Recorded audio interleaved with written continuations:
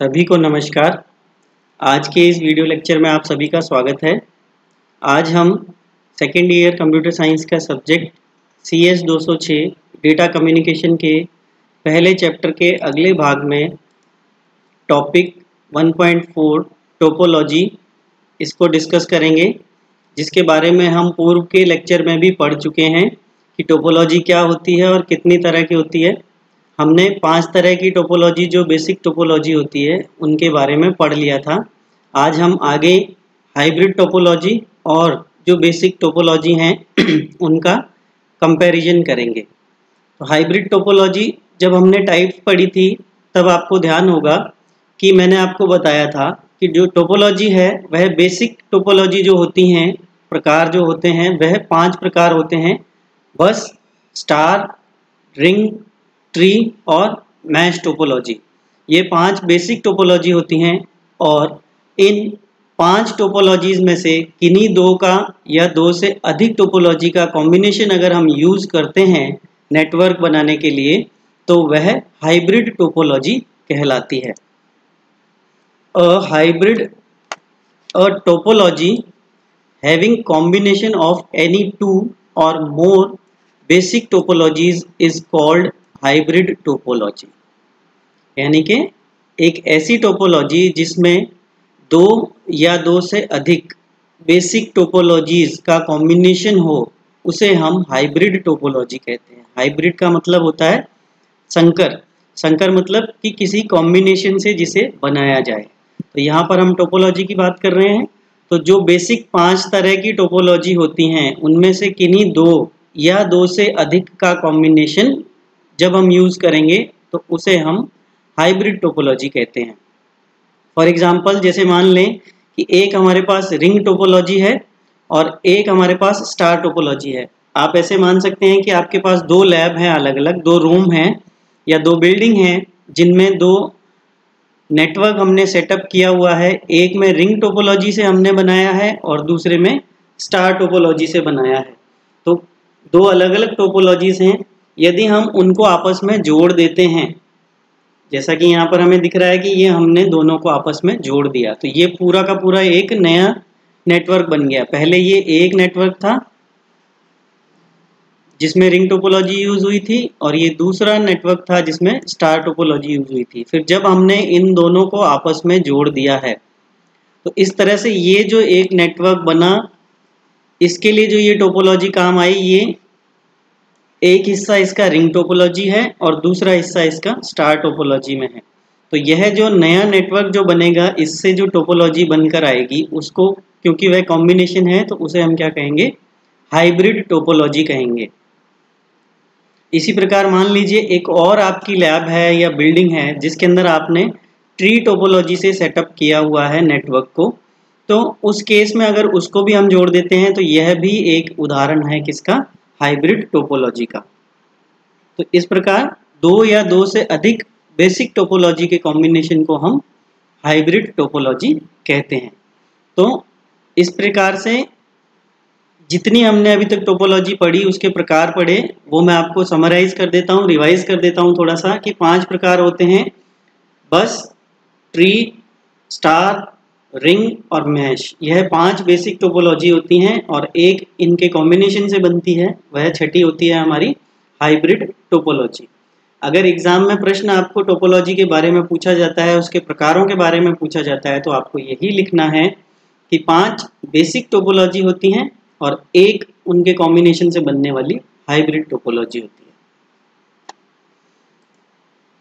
अब हम देखेंगे कि इन टोपोलॉजीज का कंपैरिजन अब तक हमने सारी जो टोपोलॉजी पढ़ी है बेसिक टोपोलॉजी पाँच, उन पाँचों का कंपैरिजन करेंगे हम, जिसमें हम देखेंगे कि किसमें, किस चीज़ के लिए अच्छी है और किस चीज़ में, किसके लिए, कौन सी टोपोलॉजी अच्छी नहीं है या उसमें उसकी डिसएडवांटेज या एडवांटेज क्या है।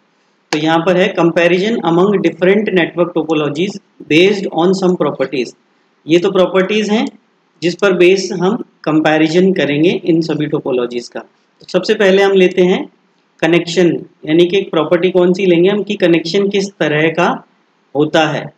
इसके लिए मैं आपको सजेस्ट करूँगा कि इस कंपैरिजन को आप पढ़ने से पहले आप अपने पास जो भी आपकी नोटबुक है या कागज़ पेन पर आप सारी टोपोलॉजीज़ के डायग्राम अपने पास रख लें, क्योंकि उन डायग्राम्स को देखकर आपको इजीली समझ में आ जाएगा ये जो हम कंपैरिजन करने वाले हैं।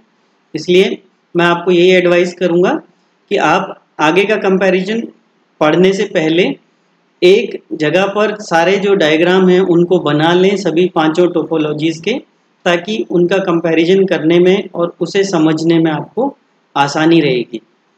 तो सबसे पहले हम बात करते हैं कनेक्शन की। कनेक्शन मतलब कि उनके बीच में जो नोड है नेटवर्क की, उनके बीच में कनेक्शन कैसे होगा। तो आप याद करें, बस टोपोलॉजी में हमारा मल्टी पॉइंट लिंक होता है।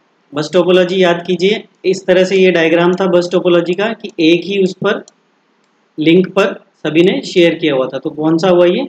मल्टी पॉइंट हुआ। दूसरी टोपोलॉजी हमारी स्टार तो स्टार में अगर आप याद करें कि पॉइंट टू पॉइंट लिंक था, एक सेंट्रल हब होता है जिस पर कि बाकी के सारे नोड कनेक्टेड रहते हैं। तो इसमें कौन सा था? Point to point link to central hub ये इस तरह से। फिर थी रिंग टोपोलॉजी तो रिंग टोपोलॉजी में भी क्या था हमारा, आप याद करें कि पॉइंट टू पॉइंट लिंक था कि जो भी नेबरिंग नोड है, उसके साथ वह पॉइंट टू पॉइंट लिंक द्वारा जुड़ी हुई है। ये मैं डायग्राम बनाने की कोशिश कर रहा हूँ, पर जगह की थोड़ी सी यहाँ पर कमी है हमारे पास लिखने के लिए। इसलिए मैं ये छोटे छोटे डायग्राम बना रहा हूँ। आप अच्छे से कंपैरिजन के लिए पूरा बना के उसको समझ सकते हैं डायग्राम के द्वारा भी। अब यहाँ पर देखें रिंग टोपोलॉजी में point to point link to its neighbour यानी कि हर एक जो नोड है वो अपने नेबरिंग नोड के साथ पॉइंट टू पॉइंट लिंक से जुड़ी हुई है। फिर हम बात करते हैं ट्री टोपोलॉजी की। तो ट्री टोपोलॉजी में आपको याद होगा, हमने कैसे पढ़ा था कि ट्री टोपोलॉजी में ब्रांचेज होती हैं और उन ब्रांचेज की भी फर्दर आगे और ब्रांचेज हो सकती हैं जिन पर कि हमारे नोड कनेक्ट रहते हैं। इस तरह से था। आप डायग्राम देख लें, जो हमने प्रीवियस लेक्चर्स में डिस्कस किया है। तो यहाँ पर क्या होगा? Point to point link to a hub यानी कि यहाँ तो ये पॉइंट टू पॉइंट लिंक है, जिस हब से ये कनेक्टेड है which in turn links with other hubs और स्विच कई सारे हब थे इसके अंदर हमारे पास। प्राइमरी और सेकेंडरी हब थे एक्टिव और पैसिव हब कहते हैं जिनको हम। तो वो हब क्या थे? आपस में जुड़े हुए थे। तो वो किससे जुड़े हुए हैं? जो नोड है हमारी, वो नोड हब के साथ पॉइंट टू पॉइंट लिंक से जुड़ी हुई है और वो जो हब हैं सेकेंडरी हब जो हैं, वो प्राइमरी हब से जुड़े हुए रहते हैं। इसी प्रकार मैश टोपोलॉजी मैश टोपोलॉजी में पॉइंट टू पॉइंट था, आपको ध्यान होगा कि जितनी भी नोड होती हैं हमारी मैश टोपोलॉजी में वे सभी डेडिकेटेड लिंक से आपस में जुड़ी हुई रहती हैं। जो रिंग टोपोलॉजी थी, उसका ही एक्सटेंडेड रूप होता है मैश टोपोलॉजी। तो यहाँ पर भी क्या है, सब आपस में जुड़ी हुई है किससे? पॉइंट टू पॉइंट लिंक से। तो point to point link to each and every device in the network जितने भी हैं, सभी आपस में पॉइंट टू पॉइंट लिंक से जुड़े हुए हैं। फिर नेक्स्ट प्रॉपर्टी हम डिस्कस करते हैं।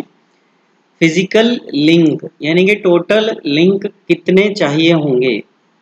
किसके लिए? फॉर एन नोड्स यानी कि नोड की संख्या एन है तो उसके लिए कितने हमको लिंक की आवश्यकता होगी? तो बस टोपोलॉजी में क्योंकि मल्टी पॉइंट है तो एक ही लिंक की आवश्यकता है, ये मेन लिंक होगा। एक ही लिंक से सबका काम हो जाएगा। स्टार टोपोलॉजी में जितने नोड होंगे, उतने ही लिंक होंगे। कि जितने भी हैं, उतने सब आपस में जुड़े हुए हों। इसी तरह से रिंग टोपोलॉजी में क्या होगा? एन होंगे यानी कि जितने नोड हैं, उतनी ही हमको लिंक की या लाइंस की आवश्यकता होगी। जैसे आप गिन सकते हो, यहाँ पे ये चार हैं तो इसके लिए चार ही लिंक की हमें आवश्यकता है। ट्री टोपोलॉजी में हमने कहा कैन नॉट बी डिटरमाइंड क्यों नहीं हम डिटरमाइन कर सकते? क्योंकि कितने भी ब्रांचेस किसी भी लिंक पे हो सकती हैं। जैसे इस एक लाइन पे अगर मुझे दस नोट जोड़नी है तो हो सकता है मैं इसकी दो ही ब्रांचेस बनाऊँ और उस पर जोड़ दूँ। या मेरी अवेलेबिलिटी है या सूटेबिलिटी है या ज़रूरत ऐसी है मेरी कि मुझे ज़्यादा लिंक लगाने पड़े। तो यह कॉन्फ़िगर करने वाले पर निर्भर करता है, इसलिए इसमें लिखा है कैन नॉट बी डिटरमाइंड हम पता नहीं लगा सकते।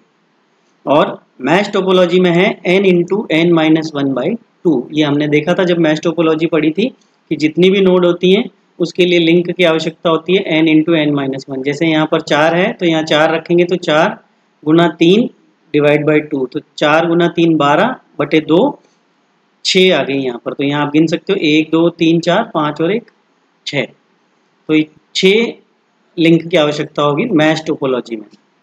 फिर इसके बाद हम बात करें input output ports required for n nodes.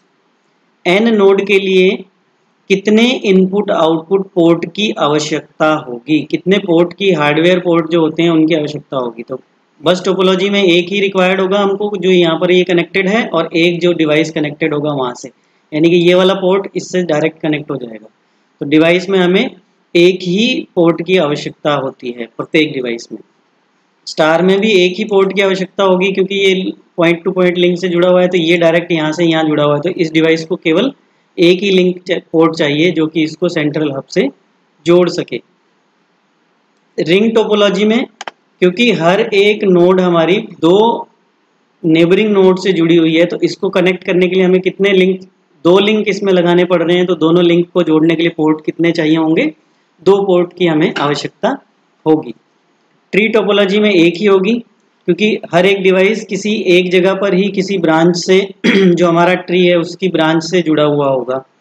इसी प्रकार मैश टोपोलॉजी में n minus one by each device हर एक जो डिवाइस है उसमें एन माइनस वन है। क्यों? क्योंकि वो सभी से जुड़ा हुआ है। खुद के अलावा बाकी सबसे भी जुड़ा हुआ है। तो खुद को मिलाकर क्योंकि एन हो रहा है तो बाकियों से जुड़ने के लिए कितने चाहिए? खुद को छोड़ दें तो n minus one input output ports की आवश्यकता होती है। ये हमने प्रीवियस लेक्चर में भी पढ़ा था। फिर उसके बाद हम बात करते हैं कॉस्ट की। यानी कि इसको बनाने में और मेंटेन करके रखने में कितनी कॉस्ट की आवश्यकता होगी? तो बस टोपोलॉजी की सबसे सबसे लो तो नहीं आपस में कंपेयर करें तो इनके मुकाबले इसकी जो कॉस्ट है, वह लो होती है। क्यों? क्योंकि इसमें केवल एक ही लिंक है, एक ही लाइन है तो केबल जो चाहिए हमें वो लिमिटेड ही है, एक केबल से हमारा काम हो जाता है। स्टार टोपोलॉजी में मीडियम है, पर बस से तो ज़्यादा है। क्यों? क्योंकि इसमें नंबर ऑफ़ लाइन जो है वो बढ़ जाएँगी तो जो केबल रिक्वायर्ड होगी इनको कनेक्ट करने के लिए उसकी मात्रा बढ़ जाएगी तो ऑब्वियसली उसकी कॉस्ट भी साथ ही साथ बढ़ जाएगी।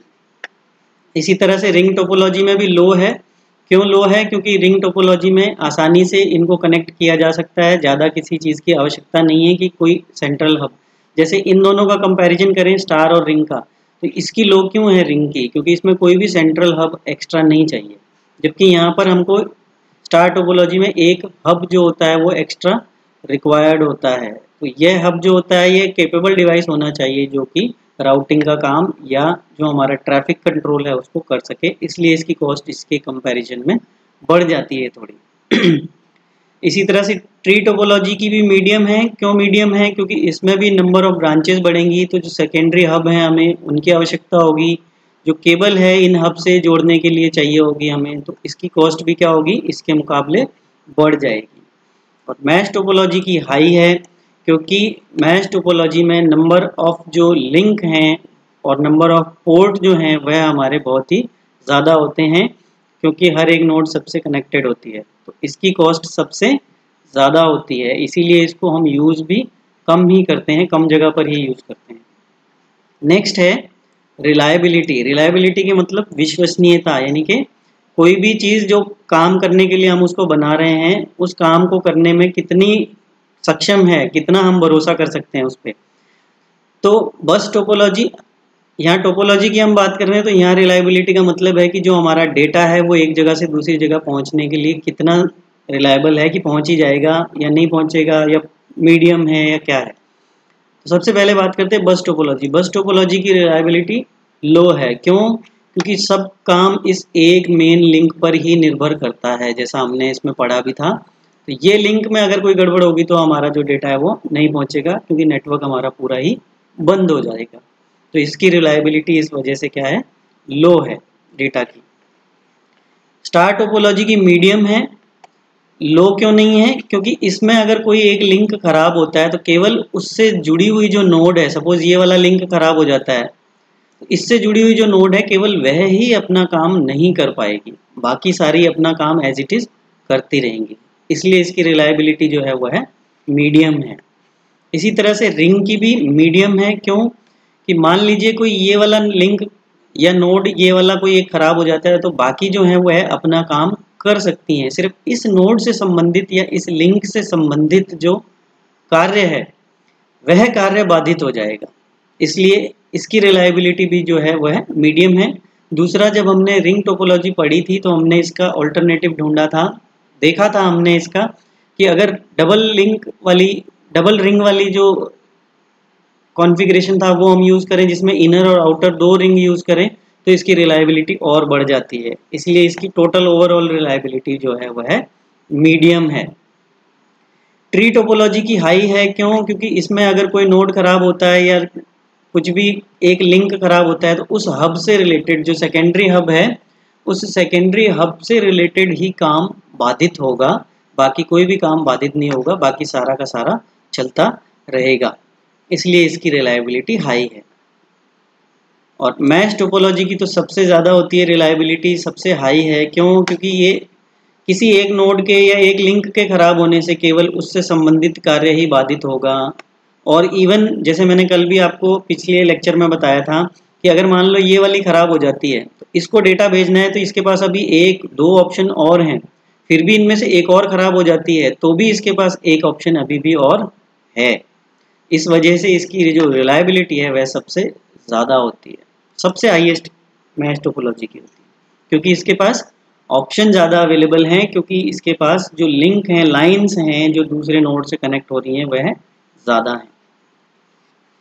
नेक्स्ट प्रॉपर्टी है हमारी on cable failure fault isolation यानी कि केबल के फेल होने पर या ख़राब होने पर फॉल्ट को हम कैसे आइसोलेट कर सकते हैं?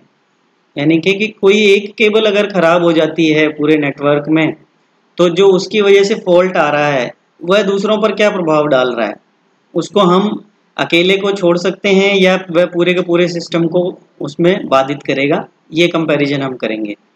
यानी कि केबल के फेल होने पर फॉल्ट आइसोलेशन किस प्रकार होता है? तो बस टोपोलॉजी में क्योंकि केबल एक ही है तो वो केबल अगर ख़राब हो जाती है तो ब्रेक डाउन द सिस्टम यानी कि पूरा का पूरा जो सिस्टम है हमारा वो ब्रेक डाउन हो जाएगा. यानी पूरा नेटवर्क ही हमारा ठप हो जाता है बस टोपोलॉजी में. स्टार टोपोलॉजी में only the attached node goes down जो उस लिंक से जुड़ी हुई नोड है, केवल वह बंद होगी, बाकी का नेटवर्क जो है हमारा वह चलता ही रहेगा, उसमें कोई भी समस्या नहीं आएगी। ये हम देख भी चुके हैं कि ये एक नोड खराब होगी तो सिर्फ़ ये लिंक खराब होगी केबल तो सिर्फ़ इस केबल से जुड़ा हुआ जो नोड है, वही बाधित होगा। रिंग टोपोलॉजी में ब्रेक डाउन द सिस्टम अब रिंग टोपोलॉजी में एक इसके ब्रेक हो जाने पर ये रिंग टूट जाएगी हमारी तो अगर हम पूरे नेटवर्क की बात करें तो चाहे तो ये वाली जो हमारी हैं, ये काम कर सकती हैं, और जो नेटवर्क है, वो हमारा ब्रेक हो जाएगा। उसके लिए हमारे पास इसमें उपाय भी थे जो हमने पढ़े थे कि इनर और आउटर दो रिंग यूज़ कर सकते हैं। पर सिंपल जो रिंग है, उसमें जो हमारा सिस्टम है, वो पूरा का पूरा क्या हो जाएगा? ब्रेक डाउन हो जाएगा, बंद हो जाएगा। क्यों? क्योंकि बाकी नोड्स तक भी नहीं पहुँच पाएँगे। ट्री टोपोलॉजी में only faulty cable branch node goes down मान लो इस वाली में आया केबल में तो इससे जो जुड़ी हुई हमारी नोड हैं, केवल वह ही डाउन होंगी, वह ही ऐसी होंगी जो कि अपना कार्य नहीं कर पाएँगी। बाकी जितनी भी हैं, वह सब अपना कार्य करती रहेंगी। और मैश टोपोलॉजी में only faulty cable path goes down ये वाला अगर चला जाता है किसी वजह से तो जो भी इसको यूज़ कर रहा था केबल को नोड का पाथ जैसे ये यहाँ से यहाँ यूज़ कर रहा था, या ये यहाँ से यूज़ कर रहा था, या मान लो ये वाली नोड ये इस तरह से, इस तरह से डेटा भेज रही थी। तो जो वो पाथ है जिसमें ये नोड लिंक काम में आ रहा था या केबल काम आ रही थी केवल और केवल वह पाथ ही हमारा क्या होगा? बंद होगा। बाकी जो नेटवर्क है हमारा वह चलता रहेगा। नेक्स्ट प्रॉपर्टी है हमारी to add or delete a device एक डिवाइस को ऐड करना या कोई लगा हुआ डिवाइस है उसको डिलीट करना सिस्टम में कितना आसान या मुश्किल है, वह कंपैरिजन करेंगे हम। तो सबसे पहले हम देखते हैं बस टोपोलॉजी तो बस टोपोलॉजी में डिफ़िकल्ट है। क्यों? क्योंकि एक ही लिंक है जिसपे सब जुड़े हुए हैं। तो नया नोड लगाने के लिए या कोई एग्जिस्टिंग नोड हटाने के लिए दोनों ही केस में हमें पूरे नेटवर्क को एक बार बंद करना पड़ेगा और फिर से उसे रीस्टार्ट करना पड़ेगा रिकॉन्फ़िगर करना पड़ेगा। चलते में हम नहीं कर सकते हैं। रिकॉन्फ़िगर करना हमारे लिए ज़रूरी होगा। इसलिए बस टोपोलॉजी में नया नोड ऐड करना या एग्जिस्टिंग नोड को डिलीट करना डिफ़िकल्ट है। स्टार टोपोलॉजी स्टार टोपोलॉजी में आसान है इजी क्यों है? क्योंकि हमें कोई नोड हटाना है तो केवल और केवल उसका कनेक्शन जो सेंट्रल हब है, उससे हटा देंगे हम तो वह डिलीट हो जाएगा नोड वहाँ से। और अगर कोई नया नोड जोड़ना है तो केवल हमें उसको जो सेंट्रल हब है, उससे उसका कनेक्शन करना है। तो सिंपल है। इसीलिए अगर आपको ध्यान हो तो मैंने आपको भी बताया भी था जब हमने स्टार टोपोलॉजी पढ़ी थी कि स्टार टोपोलॉजी जो हमारे नॉर्मल सिंपल नेटवर्क होते हैं, उनमें सबसे ज़्यादा काम में आने वाली टोपोलॉजी है। आप जब भी आपकी लैब है, वहाँ पर आप देखें नेटवर्क बना हुआ होगा अगर तो वह नेटवर्क जनरली लैब्स में स्टार टोपोलॉजी ही यूज़ की जाती है कि एक सेंटर स्विच रख दिया जाता है और उस स्विच के साथ बाकी सारे जितने भी नोड या कंप्यूटर हैं, वह सारे कनेक्ट कर दिए जाते हैं। तो नया नोड जोड़ना और एग्जिस्टिंग हटाना स्टार टोपोलॉजी में आसान रहता है। इसी प्रकार रिंग टोपोलॉजी में भी आसान है, क्योंकि हमें केवल और केवल दो कनेक्शन ही बनाने हैं और हटाने हैं यहाँ से। बीच में जोड़ना है तो यहाँ पर एक नोड लीजिए और इसको दोनों से कनेक्ट कर दीजिए। हटाना है तो इस नोड को यहाँ से दोनों के लिंक हटा दीजिए सीधा सीधा ट्री टोपोलॉजी में डिफ़िकल्ट है क्योंकि इसमें कॉम्प्लेक्स होते हैं, बहुत सारी ब्रांचेज होती हैं, बहुत सारी नोड होती हैं। तो जिस एक सिंगल लिंक पर ये जुड़ी हुई होती हैं, उस पूरे लिंक को जो सेकेंडरी हब है, उसे हमें बंद करना पड़ेगा और उसके बाद रिकॉन्फ़िगर उसको करना पड़ेगा। इसलिए इसमें थोड़ा सा इससे डिफ़िकल्ट है और मैश में भी डिफ़िकल्ट है। क्यों? क्योंकि एक नोड अगर मान लो यहाँ से मुझे जोड़नी है इसमें तो मुझे इसमें चार लिंक लगाने पड़ेंगे चारों नोड में। क्योंकि एग्जिस्टिंग चार नोड हैं, उन चारों से मुझे जोड़ना है। या कोई लगी हुई है, उसको हटाना है तो उसके सभी जितने कनेक्शन थे, सारे कनेक्शन हमें हटाने पड़ेंगे। तो इसको भी रिकॉन्फ़िगर हमें करना पड़ेगा, जो कि डिफ़िकल्ट होता। है लास्ट है रिकॉन्फ़िगरेशन ये अभी हमने जो डिस्कस किया, उसमें आ ही गया है। तो बस टोपोलॉजी में रिकॉन्फ़िगर करने का मतलब होता है कि दोबारा से उसको कोई चेंजेस करने हैं तो वो चेंजेस करने में कितनी हमें आसानी रहेगी या मुश्किल रहेगी। तो bus topology requires redesigning of backbone यानी कि जो पूरा का पूरा हमारा नेटवर्क है, पूरी की पूरी जो लाइन है, उस पूरी लाइन को ही हमें क्या करना पड़ेगा? रीडिज़ाइन करना पड़ेगा। स्टार टोपोलॉजी में वेरी इजी सिंपल जो स्विच है या सेंट्रल हब है, उससे कनेक्शन हटाने और लगाने हैं। वह उसको चलते हुई स्थिति में भी हम कर सकते हैं, ज़रूरी नहीं है कि उसको हम बंद भी करें। इसलिए इसमें वेरी इजी है। ये फिर से यही एक जो मेन कारण है कि हम इसको यूज़ करते हैं, जो अभी मैंने आपको बताया था, कि स्टार टोपोलॉजी को हम सर्वाधिक यूज़ करते हैं, वो कारण यही है। फिर है रिंग टोपोलॉजी इसमें डिफ़िकल्ट है। क्यों? क्योंकि ये कनेक्शन सारे बनाने, हटाने पड़ेंगे। ये तीन चार कनेक्शन जितने भी हैं, उसमें नेबरिंग नोड से वो करने पड़ेंगे। जो नोड हैं, उन नोड्स को हमें बंद करना पड़ेगा। फिर रीस्टार्ट करना पड़ेगा उन सिस्टम्स को या डिवाइसेस को। इसलिए इसमें डिफ़िकल्ट है रिकॉन्फ़िगरेशन ट्री टोपोलॉजी में कंपैरेटिवली इजी है।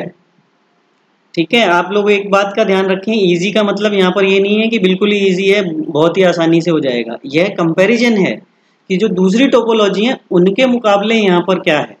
तो ट्री टोपोलॉजी में रिंग के मुकाबले आसान है, क्यों? क्योंकि इसमें एक जो हब है, सिर्फ़ उस हब से संबंधित ही कनेक्शन हमें दोबारा से डिज़ाइन करने पड़ेंगे, उसको ही रीस्टार्ट करना पड़ेगा, सारे नेटवर्क को नहीं करना पड़ेगा। और मैश टोपोलॉजी में फिर से डिफ़िकल्ट है। क्यों डिफ़िकल्ट है? क्योंकि इसमें नंबर ऑफ़ लाइन्स ज़्यादा होती हैं। अगर थोड़ा भी बड़ा नेटवर्क है, अगर छोटा है तो फिर भी आसान हो सकता है। पर इन जनरल हम दो तीन कंप्यूटर का तो नेटवर्क बनाते नहीं हैं।